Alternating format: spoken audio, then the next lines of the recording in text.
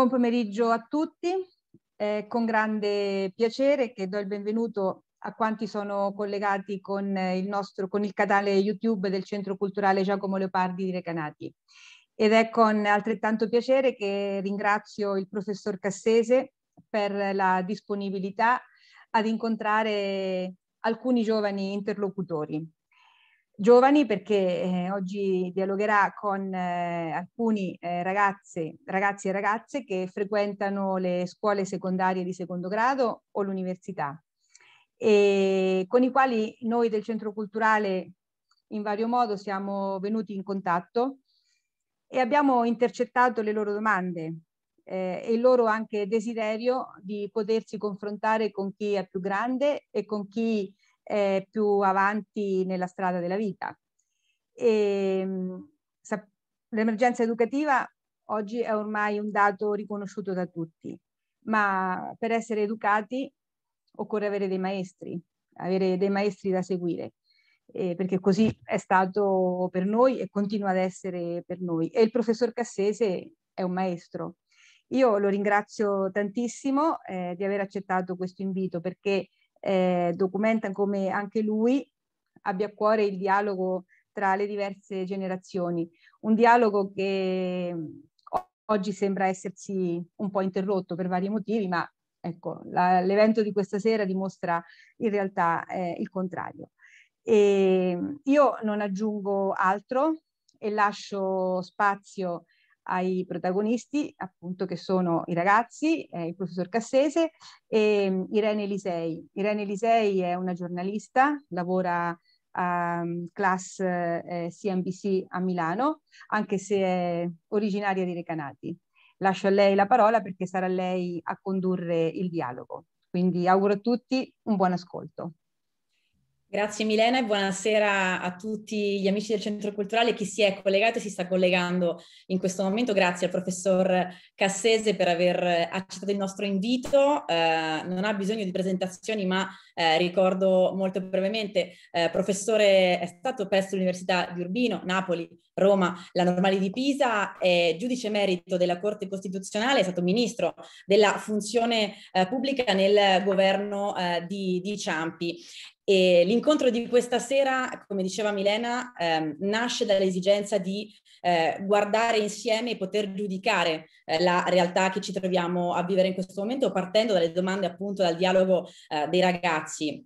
Uh, io, uh, professore, quando ho presentato, appunto, ho detto in questo momento in qualche modo cosa ha fatto, chi è, lo faccio perché uh, voglio legarlo ad una citazione, capirete subito il motivo, eh, una citazione di Bernardo di Chartres che diceva che noi siamo dei nani sulle spalle dei giganti, io dico sempre se vogliamo davvero salirci, perché per guardare più in là abbiamo bisogno non tanto della cume della vista o l'altezza del corpo, ma perché siamo sollevati in alto e possiamo, grazie alla statura, alla statura dei giganti, poter guardare no, un, pochino, un pochino più in là. Questo è il, il, desiderio, secondo me ne abbiamo bisogno sia da giovani che da, da meno giovani. Um, ed è in qualche modo uh, dalla nostra intervista, così spieghiamo anche come nasce questo incontro, perché io e il professor Cassese non ci siamo mai incontrati fisicamente, anzi una sola intervista di pochi minuti, uh, forse uh, meno di due mesi fa, eh, nel momento di massima crisi del, dell'esecutivo eh, Conte bis che poi ha portato no, alla nascita del governo di Mario Draghi.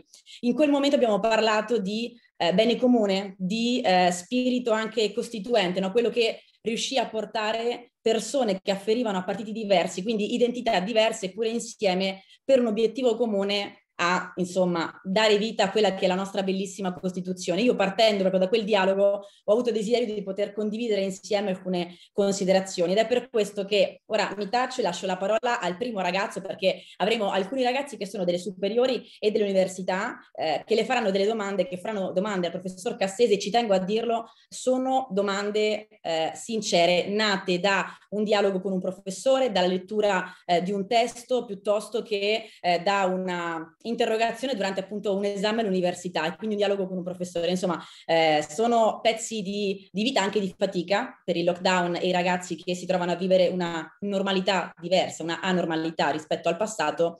Partiamo allora dalla domanda di eh, Alexiei, è il, il, primo che parte proprio dal, dal bene comune. Questo è il primissimo passo che vogliamo fare insieme, capire un po' di più che cos'è. Buonasera professore, eh, sono Alexei Pennacchioni e frequento il terzo anno del liceo scientifico Giacomo Leopardi. La domanda che volevo farle è questa. Come si fa, eh, trovandosi a governare un paese e avendo quindi moltissimo potere e grandissime responsabilità, a non cadere nella tentazione di agire per i propri interessi, ma rimanere sui propri passi e cercare di perseguire al meglio il bene comune? E un'altra dove si trova la capacità di non trascurare il singolo uomo che magari si trova in una situazione disagiata e che ha bisogno quindi di sostegno, come sappiamo anche spesso economico, e che proprio per questo motivo potrebbe rappresentare un peso? Grazie.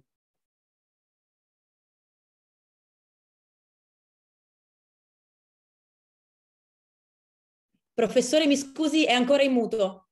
Non, non riusciamo a sentirla. Ecco, adesso dovrebbe sentirmi. Eh, dicevo, bisogna distinguere perché c'è una risposta individuale a questa domanda, ma c'è anche una risposta istituzionale, cioè dell'organizzazione della società. La risposta individuale è molto semplice, perché ciascuno di noi ha una, eh, una precisa cognizione di quello che è l'interesse collettivo e della distanza che c'è tra l'interesse collettivo e l'interesse individuale. Lo conosciamo e sappiamo che in quanto incaricati di funzioni pubbliche dobbiamo perseguire l'interesse collettivo e non quello individuale. Ma le norme esistono perché gli uomini non sono angeli, diceva uno dei padri costituenti americani, gli uomini sono diavoli e quindi eh, sono tentati di aggirare le norme. E qui supplisce seconda, eh, il secondo accorgimento, cioè le istituzioni sono ordinate in un modo da assicurare in maniera non perfetta che quelli che sono incaricati di funzioni pubbliche si interessino dell'interesse collettivo e non invece del loro interesse individuale. Come lo fanno? Lo fanno prevedendo dei controlli sull'azione delle singole persone. Lo fanno prevedendo che una singola persona non decida da solo. Lo fanno prevedendo dei, gli americani li chiamano checks and balances, degli controlli e dei bilanciamenti Ognuno di questi strumenti, e ne potrei indicare molti altri, ognuno di questi strumenti è diretto proprio a correggere quelle rotte sbagliate che possono derivare dalla prevalenza dell'interesse individuale sull'interesse collettivo. Eh, un esempio che sfugge sempre a molti, lo voglio fare di, particola, di un particolare strumento di questi. Vi siete mai chiesti perché, per esempio, in Italia il Parlamento dura cinque anni, il Presidente, il Presidente della Repubblica sette? E perché i giudici della Corte Costituzionale durano in carica nove anni? E negli Stati Uniti potrei, si moltiplicano queste cose, i membri del Senato durano sette anni, quelli della, della Camera dei rappresentanti durano due anni e il Presidente degli Stati Uniti dura quattro anni in carica e non può essere rieletto che una sola volta. Tutto questo è fatto perché eh, la diversità della durata nella carica consente a persone di orientamento diverso di alternarsi nella carica in modo tale che si esercita un controllo. Se il Presidente della Repubblica in Italia è eletto per sette anni, verosimilmente eh, può esercitare, per esempio, il potere di scioglimento delle, delle Camere anche nei confronti di Camere diverse da quelle che l'hanno eletto, perché la sua durata nella carica è più lunga della durata nella carica dei parlamentari. Quindi, e lo stesso si può dire per gli organi collegiali, proprio perché c'è una scarsa fiducia nella singola persona, è previsto che un tribunale, la Corte d'Appello, la Corte d'Assise, la Corte di Cassazione, la Corte Costituzionale, siano composte di più di una persona, perché più persone possono controllarsi reciprocamente e attraverso il bilanciamento, la ponderazione, il ragionamento, insieme la discussione raggiungere una decisione più rispondente all'interesse collettivo. Riassumendo, la mia risposta alla sua domanda è quell'obiettivo che lei indica si raggiunge in due modi. Il primo è una consapevolezza della distinzione tra interesse individuale e interesse collettivo e una consapevolezza dell'obbligo di perseguire l'interesse collettivo e non quello individuale nell'esercizio della funzione pubblica.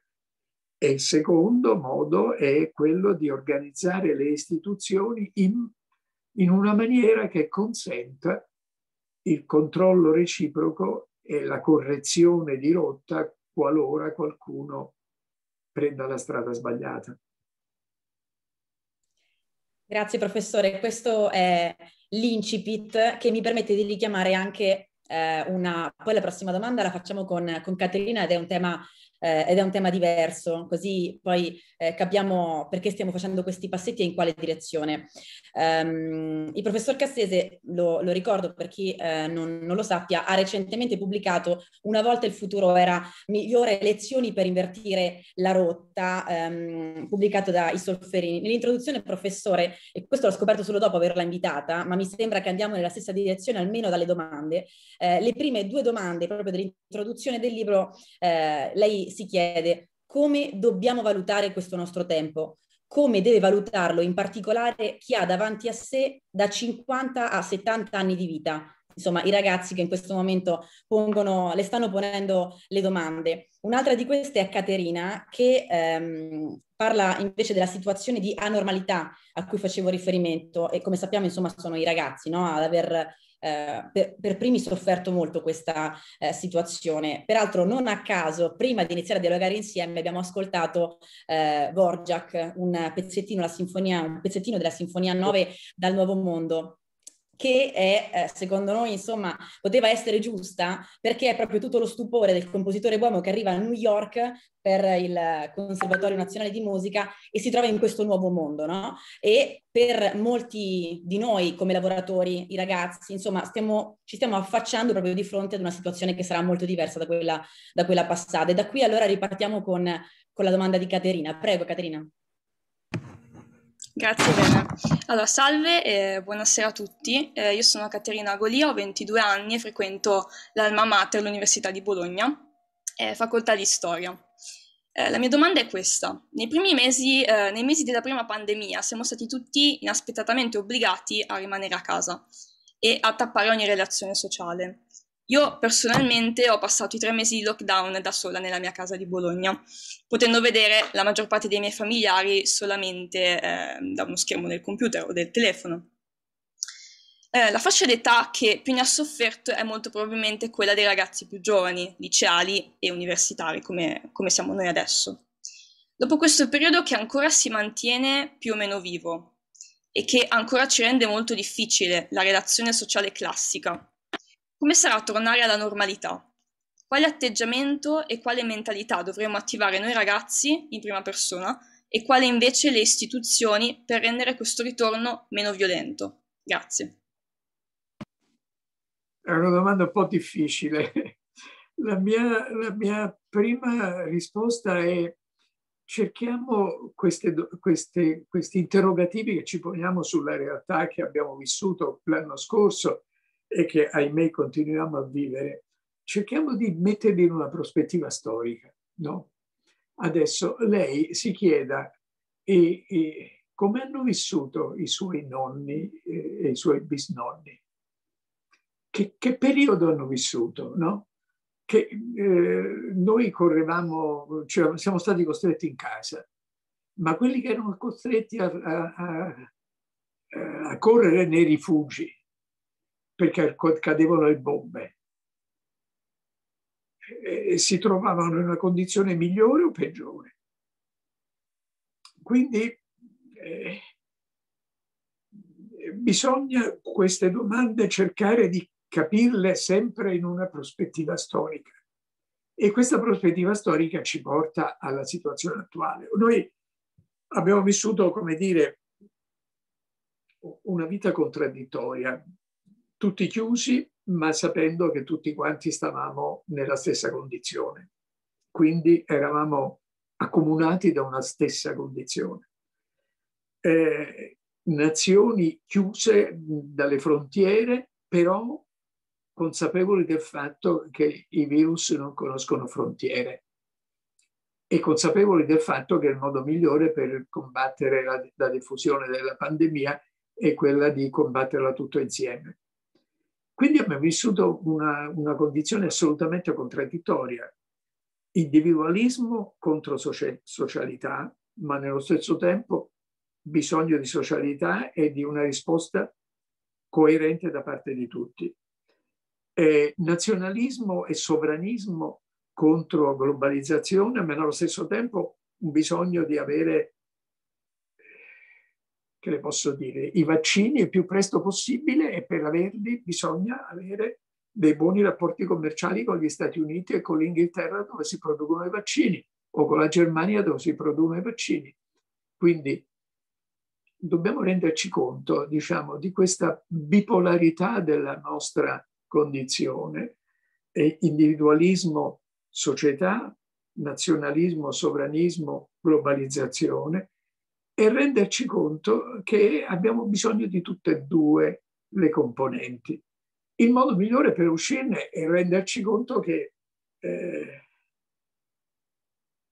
eh, diciamo che della differenza lei ha fatto degli studi già di storia, forse qualcosa anche di storia della, del, del, pensiero e conoscerà eh, la distinzione tedesca tra Gemeinschaft e Gesellschaft. C'è un famoso studioso tedesco che ha scritto un importante libro che è intitolato proprio Gemeinschaft und Gesellschaft.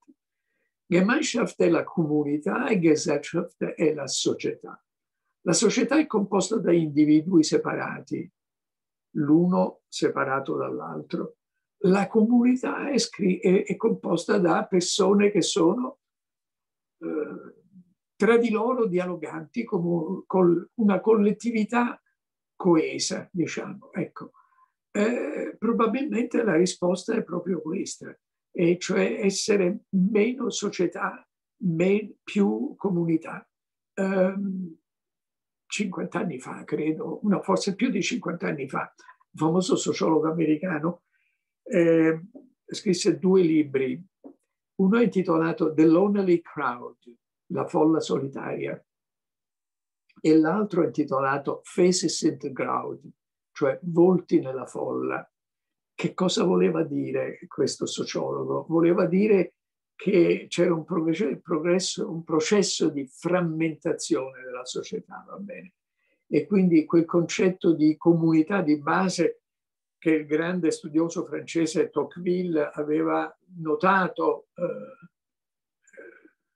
quando fece quel viaggio in America nel 1835 per studiare la democrazia in America, si era andato frammentando, diciamo, quel, quella comunità che era basata su una vita sociale molto intensa. E, e questo, questo, questo, è il pericolo che si corre nel passaggio dal, diciamo, dalla pandemia al post-pandemia. Ed è il pericolo da evitare cercando di fare quello che appunto secondo me ogni società deve fare, cioè stabilire eh, reti, stabilire contatti, collegamenti e quindi passare da Gesellschaft a Gemeinschaft, da società a comunità, che è una cosa molto diversa. Ringrazio professore anche per l'inizio uh, di, della risposta. Io avevo desiderio e ho desiderio che anche nelle prossime risposte lei possa raccontarci anche un po' di lei, no? partire dall'esperienza personale. Lei è testimone oculare di eh, una parte di storia per noi, prima, seconda Repubblica, insomma, eh, importante, ma anche momenti difficili eh, dagli anni di piombo, prima ancora appunto la guerra, no? perciò gli effetti successivi quindi in qualche modo può reperire dalla sua esperienza no, il ritorno alla normalità, se così si può definire, o insomma ad un nuovo no, percorso eh, per risalire. Abbiamo parlato di bene comune con Alexei, abbiamo parlato di eh, giovani, di comunità e società con Caterina, eh, con la domanda di Agnese, che è la prossima ehm, ragazza, insomma, che porrà la domanda, li vogliamo mettere assieme questi due aspetti, perché eh, se i giovani non vengono in qualche modo educati al bene comune o a un'attenzione su questo, c'è una conseguenza che è la disaffezione per la politica, anzitutto. Agnese. Salve, buonasera a tutti. Io sono Agnese Sadori e mm, sono di Recanati e frequento l'ultimo anno del liceo classico Giacomo Leopardi di Recanati. La mia domanda per lei era questa. Eh, nel corso degli anni abbiamo sperimentato che non tutte le persone che fanno politica hanno un autentico interesse per l'uomo, non avendo messo il bene comune davanti a tutto. Questo ha generato, soprattutto nei giovani, eh, un senso di sfiducia nella politica in generale. Quale crede che siano le cause di questo progressivo dis- disinteressamento per l'uomo e per il bene comune e della conseguente sfiducia da parte della società? E secondo lei che ruolo ha l'educazione nel sanare questa situazione, visto anche che ha collaborato alla creazione di una scuola di formazione politica? Grazie. Senta, diciamo, il, il, disinteresse nei confronti della società si può manifestare in modi diversi e uno che viene, uno di questi modi è certamente molto importante, che è la scarsa partecipazione popolare alle votazioni, alle elezioni. Eh, grosso modo, eh, per circa un ventennio di storia repubblicana all'inizio, subito dopo la seconda guerra mondiale, noi abbiamo avuto una partecipazione di circa il 90%, che è diminuita e che è ora è attestata intorno al 70% con delle punte in qualche caso anche inferiori eh, che oscillano intorno al 50%, il che vuol dire sostanzialmente che c'è un terzo della popolazione o addirittura la metà che non partecipa alla, alla decisione più importante che una società può prendere, cioè di scegliere quelli che vengono chiamati i propri rappresentanti. Cerchiamo di capire però qual è il significato di questo, perché una parte del significato potrebbe essere anche costituito dalla soddisfazione di queste persone rispetto allo status quo, cioè non vado a votare perché quello che accade mi va bene e lascio che altri decidano perché mi va bene che continuo in questa direzione. Non ho da esprimere una domanda ulteriore e non ho da esprimere un disaccordo. Questo è un possibile significato della quella che viene chiamata l'astensione dal voto. L'altro possibile significato è che sono talmente in disaccordo che non c'è nessuna offerta politica che mi viene presentata che mi trova consenziente. E quindi è, è un atteggiamento di, non di adesione, ma un atteggiamento di ribellione, di esclusione, è, è un, un, atteggiamento come quello che si realizzava nei collegi medievali, dove c'era l'istituto della izio in partem o in partes, cioè che si andava via dal collegio, non si partecipava più all'attività collegiale. Ecco, questo è preoccupante, ma il modo in cui si può ottenere una maggiore partecipazione e quindi si può ottenere una più ampia base collettiva a tutte le istituzioni che debbono esprimersi a nome di tutta la collettività, secondo me, e, e non solo secondo me, è costituito lo strumento fondamentale per raggiungere questo obiettivo è costituito dal grado di istruzione. Un uh, studioso italiano che insegna da qualche anno negli Stati Uniti, eh, si chiama Enrico Moretti, ha scritto un bel libro che è stato tradotto anche in italiano, intitolato La nuova geografia del lavoro. E in questo libro dimostra eh, che è strettamente collegato al grado di istruzione il benessere di una persona, il tipo di società in cui vive, il grado di soddisfazione personale, il livello di reddito che ha, il quartiere in cui vive, il grado, in questo caso inferiore, non superiore, di uso delle droghe e tanti altri elementi. Cioè quello che una volta era collegato al privilegio della ricchezza, no? Nel, nelle società censitarie dove era il censo, la ricchezza che contava, oggi è dato dal grado di istruzione. Poiché l'istruzione ce la possiamo procurare tutti, eh, eh, secondo me la chiave per rispondere alla sua domanda sta nell'istruzione. Grazie professore. Le altre due domande che le vogliamo porre ora sono di Lorenzo e di Angelo e qui apriamo una, uno spaccato dedicato proprio alla giustizia, le domande che eh, chiedono di una giustizia giusta. Ora glielo spiegano meglio Lorenzo e Angelo in sequenza perché sono domande che si legano, quindi le fanno una dietro l'altra e poi può rispondere il professore. Grazie.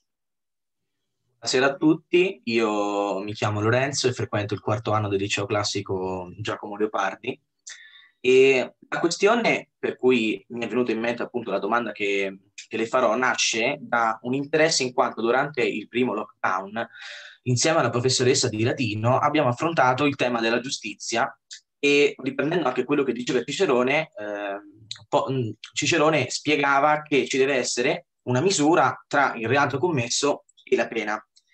Riportando la questione nel mondo odierno, ho notato come ci sia, diciamo, una concezione di giustizia molto spesso sbagliata, eh, diciamo, basata più sulla punizione che sulla rieducazione. Ed è anche per questo che eh, le domando se esiste un modo per combattere questo possiamo chiamarlo retaggio culturale, appunto, di stampo giustizialista, e se, e se esiste anche un metodo efficace eh, per applicare appunto il cosiddetto sistema riabilitativo. Eh, buonasera, sono Angelo, e frequento il quarto anno del liceo classico e la domanda mi sorge dallo stesso dibattito mh, mm, che, che, di cui parlava Lorenzo. E io mi chiedevo, in un mondo in cui viene applicata una giustizia riabilitativa, come è possibile dare una seconda possibilità, una seconda chance a persone che hanno commesso crimini atroci? Grazie. Provo, provo, a rispondere a questa domanda che però è fatta di, di, di tre parti diverse tra di loro e comincio proprio dall'ultima. Chi abbia commesso un crimine atroce può essere riabilitato. Sì, eh, tanto perché lo dice la Costituzione che lo scopo della pena è la riabilitazione, ma poi per un secondo motivo, e cioè che il decorso del tempo cambia le persone. Una persona 30 anni dopo non è la stessa persona, è cambiata perché, eh, perché è passato il suo tempo, perché lui ha visto il tempo degli altri passare e quindi lo scopo riabilitativo eh, si realizza perché è la riabilitazione di un'altra persona e la commutazione, per esempio, della pena in una pena meno grave, eh, si spiega perché non è più la stessa persona che ha commesso quel delitto per cui è stato sanzionato. Passo poi al tema della proporzionalità la proporzionalità deve essere determinata in base al valore che viene dato al, e al disvalore che viene dato al bene che viene colpito dal crimine commesso. Se in una società è altissimo il valore della vita, commettere un omicidio comporterà una sanzione particolarmente grave.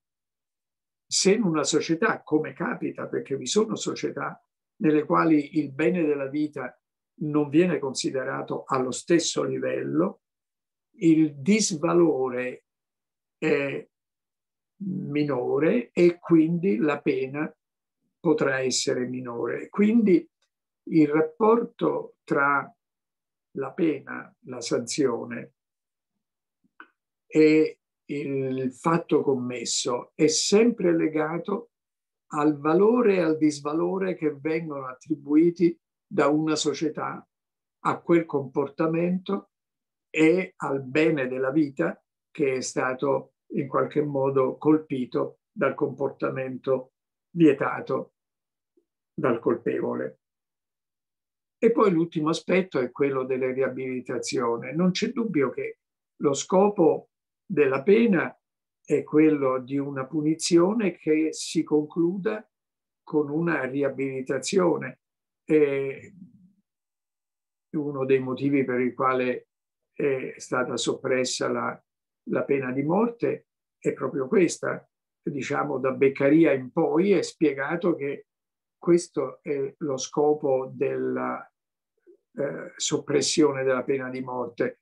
Uno un grande giurista americano ha preso questo come un esempio della disunione degli Stati Uniti rispetto all'unione dell'Unione Europea. Eh, eh, Guido Calabresi, di origine italiana, che è stato preside della Yale School eh, dell'Università di Yale negli Stati Uniti, il quale ha detto che in realtà l'Unione Europea, che non accetta la pena di morte, è tutta quanta più unita degli Stati Uniti d'America perché gli Stati Uniti d'America sono divisi, vi sono alcuni nei quali la pena di morte è ancora eh, legale e altri che hanno eh, cancellato la pena di morte dal loro ordinamento. E questo è un, come dire, un, un sintomo significativo preso da, da Guido Calabresi per dimostrare l'unità e la disunità di questi, di questi due ordinamenti che sembrano tanto diversi, invece all'opposto, perché tutti pensano che gli Stati Uniti d'America siano più uniti dell'Unione Euro- dei paesi che fanno parte del, dell'Unione Europea, ma anche il sintomo dell'importanza che viene dato dell'Unione Europea al valore della vita che è messa in gioco dalla pena di morte. Grazie professore. Il tema della giustizia ci chiama il tema della libertà ed è eh, il, quello che vogliamo trattare nelle ultime tre domande. Eh, la, la, prima di queste è quella di Bianca. È una domanda che ehm, io giudico adesso, oggi l'ho rivista ancora, poi ora gliela pone subito Bianca. Eh, è una domanda molto bella e secondo me è una domanda che eh, interessa e si pongono tutti, a qualunque età, a qualunque professione facciano, perché parla di libertà e lavoro, come si può essere eh, liberi nel lavorare, nel luogo eh, di lavoro. Sono libertà e lavoro spesso due concetti ossimorici, no? Sembrano apparentemente, e invece c'è una possibilità no, anche di soddisfazione nel lavoro, vocazione nel lavoro, insomma, che eh, invece può davvero essere una grande occasione e a partire dalla sua esperienza le poniamo la domanda di Bianca. Prego. Buonasera professore. Eh, sono Bianca e studio lettere a Siena, sono all'ultimo anno, ma ho studiato al liceo a Recanati. E questa è la mia domanda. Eh, durante quest'ultima sessione eh, sono rimasta molto ferita dal giudizio che ha espresso uno dei miei docenti in quanto è stato negativo. Mentre svolgevo l'esame, infatti, sono stata interrotta in modo molto brusco eh, e il professore ha messo in discussione anche la mia preparazione per questo esame nonostante avessi studiato a lungo, con passione e con grande impegno. La scena per di più si è svolta di fronte a, ai miei compagni di corso che dovevano sostenere il mio stesso esame. Eh, quindi mi sono sentita veramente giudicata e ci sono rimasta molto male. Quindi è nata in me una domanda su cosa significhi libertà nel lavoro, che al momento per me coincide con lo studiare, dare esami e preparare la tesi di laurea. Se è vero che l'essere umano si sente libero quando è soddisfatto, come faccio a sentirmi così nel mio lavoro, quando chi ho di fronte sembra impedirlo? E se accade ora che sono all'università, come potrò essere libera eh, nel mio futuro, nel mondo dei grandi? E quindi le chiedo anche cosa ha significato e cosa significa per lei essere liberi nel lavoro. Guardi, le rispondo dicendole come facevo gli esami io e come li faccio adesso ancora, eh, anche se quelli, i corsi che faccio adesso sono tutti di master e per lo più a, a studenti non italiani. Eh, innanzitutto eh, l'esame lo facevo nella forma di un dialogo, nel senso che ponevo un problema, cercavo di eh, avere una risposta e continuare, cercavo di continuare sulla base di questa risposta, questo dialogo, in modo da considerare l'esaminato un po' meno esaminato e un po' più partecipe di questo dialogo. Quindi esaminatore e esaminato farli considerare un po' allo stesso piano, allo stesso livello, naturalmente anche se il mio compito era poi di giudicare ed era un compito solo mio e non del mio interlocutore. La seconda cosa molto importante, che io spiegavo sempre perché il mio giudizio era quello e per ogni risposta che ottenevo fornivo una spiegazione del perché fosse soddisfacente o fosse insoddisfacente. Le posso assicurare che nessuno studente si è mai, ha mai lasciato questo esame colloquio eh, insoddisfatto perché anche le persone che sono state bocciate, perché il mio compito era anche quello di bocciare le persone, anche le persone che sono state bocciate sono state bocciate con una motivazione, con una spiegazione e per lo più sono state bocciate, come dire, con un incoraggiamento. Bisogna ricordarsi sempre una frase famosa di un grande fisico danese, premio Nobel, il quale diceva che la scienza consiste nel fare tanti errori. Va bene. Lui aggiungeva tanti errori in un campo ristretto. Ma la verità è questa, che noi viviamo facendo errori e il fatto che riusciamo a correggerli ci consente di andare avanti. Quindi procedere per errori è una cosa utile. E io ero consapevole nell'esaminare quelle persone che fosse utile e pensavo che fosse utile far sapere all'altra persona dove stava il loro errore perché questo errore può essere, come dire, corretto e da questa correzione può venire un'ulteriore possibilità. E poi comunque c'è una seconda cosa che io ho imparato nel, nel valutare, nel giudicare e così via. Dare sempre a tutti una seconda chance. Una sola chance, non basta, va bene? bisogna che tutti abbiano una possibilità di riaprire quella porta che si è chiusa. Se quella porta non si è riuscita ad aprirla una prima volta, bisogna dargli la possibilità di aprirla una seconda volta. Perché se ci si riesce una seconda volta vuol dire che, come dire, le forze per aprire quella porta c'erano. Quindi io non so giudicare, non voglio giudicare adesso il comportamento del professore che l'ha lasciata così male eh, però eh, penso che ci sono modi per giudicare e nello stesso tempo aiutare e per far rendere conto dell'utilità degli errori. Eh, spesso si fanno degli errori semplicemente perché non, non si sa studiare, per esempio. No? Ci sono tante persone che studiano tanto ma non, non con grande profitto, ma per il solo fatto che non sono padroni della tecnica dello studio. Anche questo è importante e, ed è importante che chi esamina abbia, come dire, l'intelligenza di far capire non solo quella cosa, come è eletto il Presidente della Repubblica, per esempio, in materia giuridica, ma anche il modo in cui si arriva a quella cosa, cioè qual è il modo migliore per impadronirsi di quel concetto, di quella nozione, di quella procedura, di quell'istituto giuridico. Non so se l'ho convinta, ma il mio scopo non era di convincerla, ma di spiegarle che ci possono essere modelli che consentono di giudicare, valutare anche negativamente, ma dando una mano per poter poi salire quella scala che non si è riusciti a salire. Da qui, professore, vogliamo fare ancora quel passo in più con la domanda che cosa significa anche per lei essere libero nel lavoro, perché la preoccupazione di Bianca, ma anche di Alessia, che fa ora una domanda che è proprio un approfondimento su questo, è molto forte. Cioè poter andare in un mercato del lavoro, in un lavoro e trovare anche soddisfazione, essere, essere liberi. Vai Alessia.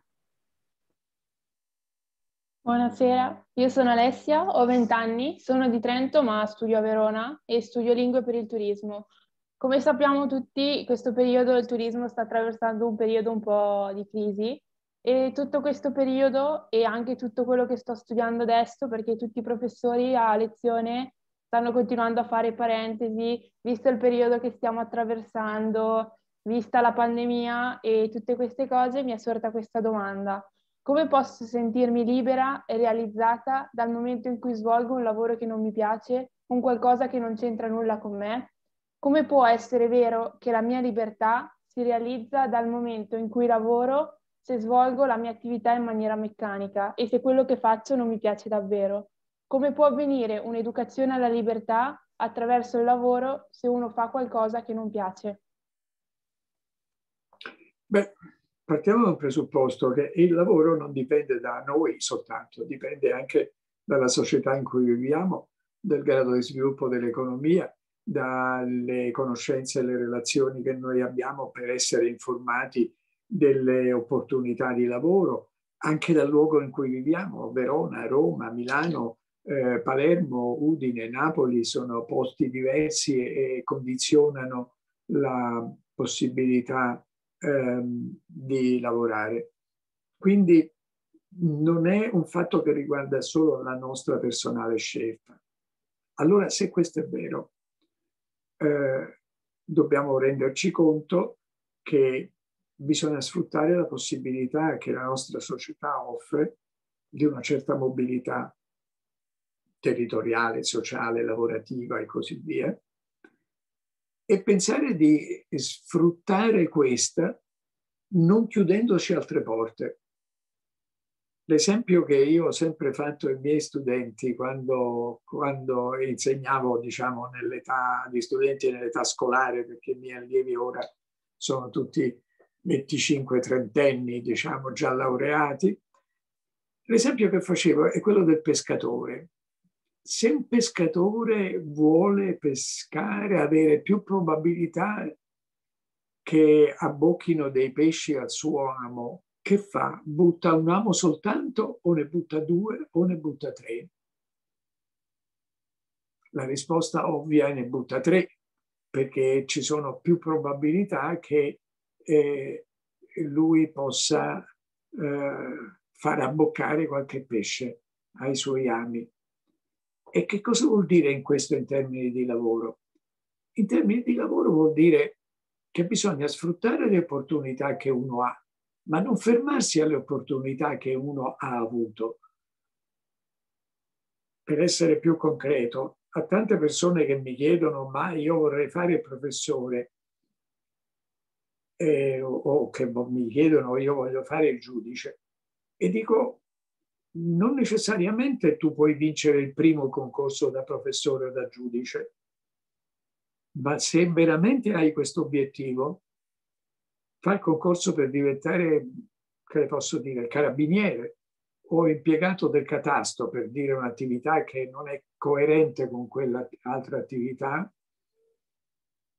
continua a studiare, mantieni dei rapporti con il mondo della professione, del, dell'università o con quello della magistratura e creati questa ulteriore possibilità. Quindi eh, quella libertà di cui lei parla è una libertà che va conquistata, non è una libertà che esiste per cui tutti possono avere il lavoro migliore che ciascuno desidera. E questo è un mondo, come dire, che non esiste. Eh, tutti possono avere il lavoro più gradito al costo di un proprio impegno nel cercarlo. Le faccio degli esempi. Eh, Carlo Muscetta è stato un grande storico della letteratura italiana, professore all'Università di Roma. Eh, Eugenio Garen è stato un grandissimo studioso di storia del pensiero e di storia del Rinascimento all'Università di Firenze. Loro, quando facevano gli studenti, volevano diventare professori universitari però sono stati a lungo professori di ginnasio e di liceo. Che vuol dire questo? Vuol dire che loro hanno, si sono impegnati, hanno trovato un lavoro perché avevano bisogno di lavorare, non avevano nessuna, come dire, grande famiglia che li tenesse, che li, che li nutrisse e gli consentisse di, di fare soltanto gli studi.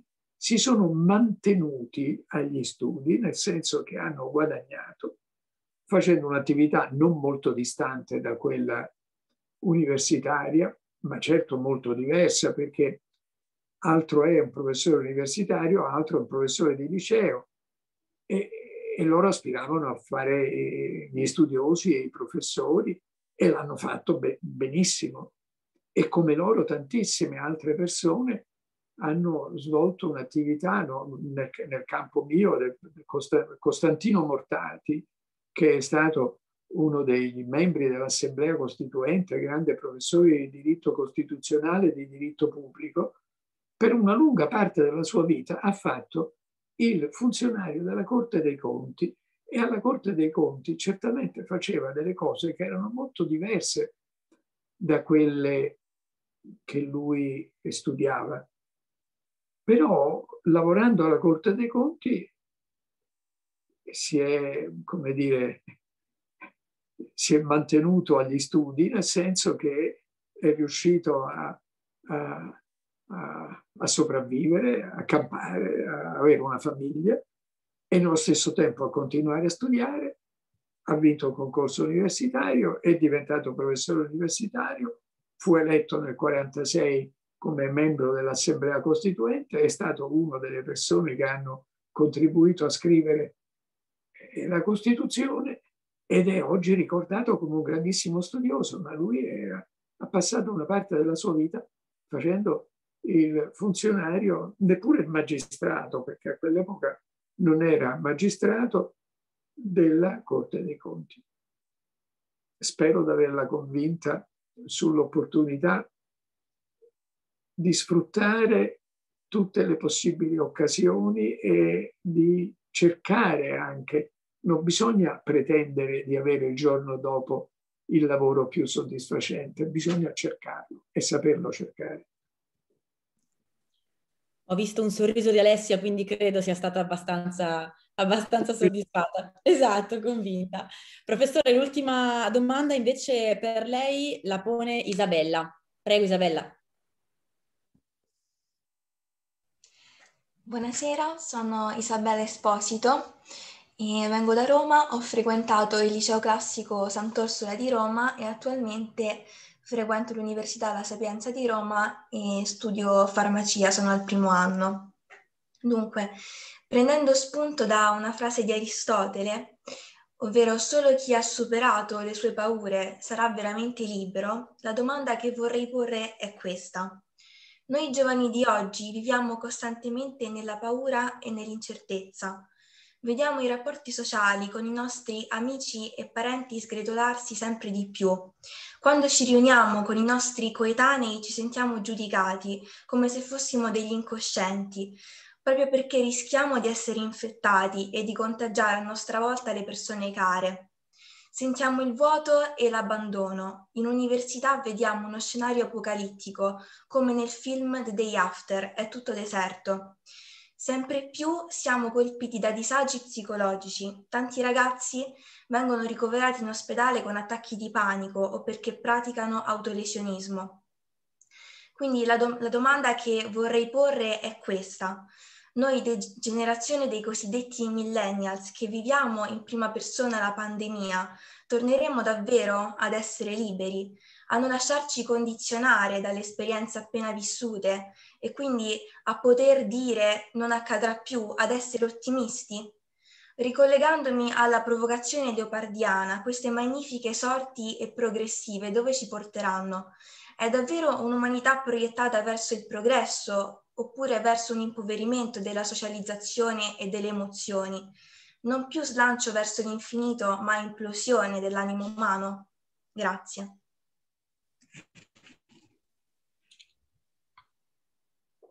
Alle mie spalle, tra quei libri, c'è un libro che è intitolato In ricchezza e in povertà. È un libro scritto da diversi economisti e sociologi che eh, illustrano il, il, modo in cui erano gli, gli, italiani di una volta e gli italiani di oggi.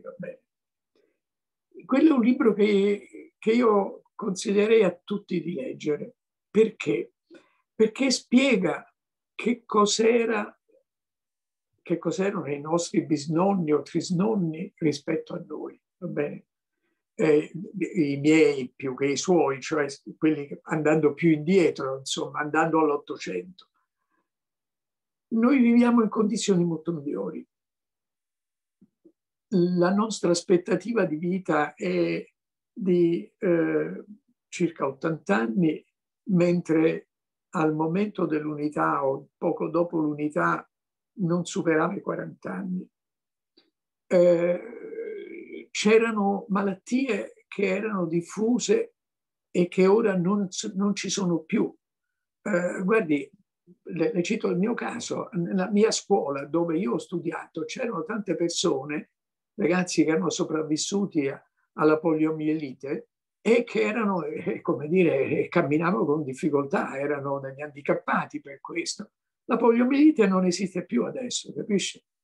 Allora, ehm, Oggi abbiamo delle possibilità che ieri erano assolutamente impensabili. Eh, eh, oggi ho fatto delle ricerche su alcune, ricerche, su alcune biblioteche americane e inglesi. Eh, una volta avrei dovuto attraversare l'Atlantico per fare quelle ricerche, capisce? Quindi le condizioni di vita, il modo in cui lavoriamo sono tali che diciamo, se mettiamo in una prospettiva storica quello che ci sta succedendo, eh, vediamo che, eh, come dire, dobbiamo essere contenti.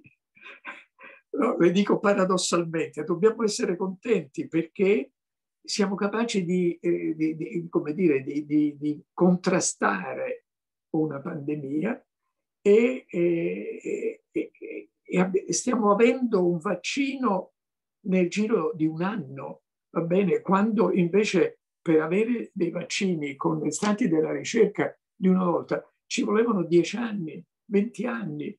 Quindi eh, io partirei dal, da, da, una, dire, una messa in prospettiva storica di quello che sta accadendo, perché se no noi corriamo il rischio di perderci nel quotidiano e questi giudizi vanno dati in una prospettiva storica, va bene. Detto tutto questo, eh, dobbiamo fare un tentativo poi di mantenere delle forme di socialità. Che vuole che le dica? E certo, anche a me dispiace, io ho fatto quest'anno due corsi, una, uh, uno eh, che, che, di solito faccio eh, a Lisbona e un altro che faccio a Roma, a, alla, alla LUIS, a studenti di varie parti del mondo, e li ho visti così sullo schermo, insomma, ecco. Io trascorrevo una giornata con loro, specialmente a Lisbona, perché poi andavo lì solamente per fare lezione quindi mi fermavo all'università tutto il giorno. Quindi eh, c'è un, un, fattore di, chiamiamolo, disumanizzazione del rapporto, no? Perché un rapporto di questo tipo, come quello che abbiamo adesso, è certamente meno, meno, meno umano di un rapporto eh, che si può avere in persona. Eh, però abbiamo questa possibilità, calcoli che, insomma, ecco, io ho un figlio che vive a Berlino e, e, e ci vediamo via Skype, insomma, ecco, non c'è altra possibilità di vederci. E queste sono condizioni che possono essere, eh, diciamo, temporanee, che comunque sono ancora accettabili, se messe in prospettiva sono migliori del modo in cui hanno attraversato condizioni simili eh, eh, i nostri predecessori. Guardi, io ho letto, ho finito di leggere ieri mattina un libro che ho recensito di una persona di cui avrà sentito parlare, Carlo Cottarelli, che è un noto economista che ha fatto la spending review e che era stato a un certo punto anche un possibile presidente del Consiglio dei Ministri.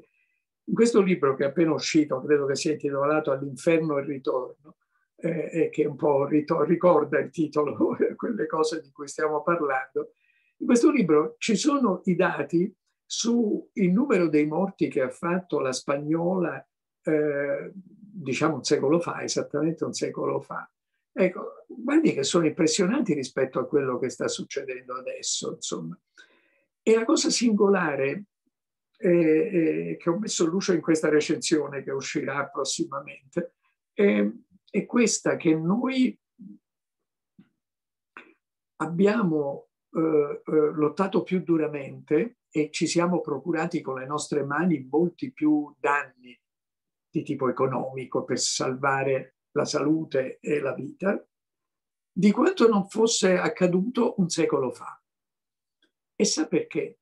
perché noi diamo un valore maggiore alla vita e pensiamo che lo Stato deve essere un nostro assicuratore e che quindi ci deve costringere a stare in casa perché un assicuratore saggio dice al guidatore dell'automobile non correre dei rischi inutili e, e poi eh, eh, paga, lei ha letto i decreti ristori no? che ora si chiameranno sostegno eh, noi stiamo facendo molti debiti, eh, il nostro indebitamento è passato, si è quintuplicato, eh, se non ricordo male, per compensare il danno economico che è stato in, provocato dal cosiddetto lockdown, cioè dal confinamento e dalla clausura. Quindi ci sono dei danni che noi stessi abbiamo provocato per cercare di guadagnare la salute e però nello stesso tempo pagheremo dei costi per tutto quello che abbiamo fatto. Ora, se lei considera complessivamente tutto questo, il giudizio è positivo perché noi stiamo dando un valore maggiore alla vita, la salute delle persone, quindi non morire, rispetto alla benessere, cioè alla ricchezza e quindi ai danni che ci stiamo provocando. E questa è una scelta saggia delle nostre società, non solo quelle italiane, ma tutte le società del mondo. E tutto questo, secondo me, va valutato positivamente. È chiaro che, eh, come dire, poi tutto questo crea un senso di angoscia. Io non le nascondo che quest'anno l'ho passato lavorando il quadruplo degli altri anni, scrivendo tanti più libri e leggendo tanti più libri, ma che ho, ho un senso di soffocamento, insomma, no? ecco. E questo senso di soffocamento capisco che sia ancora maggiore in persone che vivono una vita sociale più intensa di quella che vivessi io, e, e, e però bisogna essere forti a sufficienza e intelligenti e colti a sufficienza per capire che l'umanità si è trovata in condizioni ancora peggiori e spesso è riuscita a reagire bene e a uscirne bene. Grazie professore, peraltro Isabella, proprio una delle ultime parti del, del, libro, una volta il futuro era migliore, il professore si chiede proprio, ci sono motivi per tornare a sperare nel futuro, che è in brevissimo la domanda che hai fatto in qualche modo. E eh, si il professore ora che eh, dico un pochino parte della risposta, ma lui eh, dice che ci sono alcuni fattori, tra cui studiare l'istruzione, usare bene il proprio tempo e scegliersi un maestro. Io credo che con l'incontro di questa sera, insomma, qualcosa di questo siamo riusciti a farlo, sicuramente a non perdere tempo dal mio punto di vista e mi auguro anche per lei professore, per i ragazzi e per chi ci ha ascoltato fino a qui. Grazie, dico solo un grande grazie a tutti i ragazzi che si sono messi in gioco e professore finché c'è chi si fa queste domande, secondo me c'è speranza sicuramente, questo va detto. Grazie a lei per averci aiutato e per il dialogo eh. di questa sera. Alla Perfetto. prossima occasione, grazie. grazie a tutti. Arrivederci, arrivederci.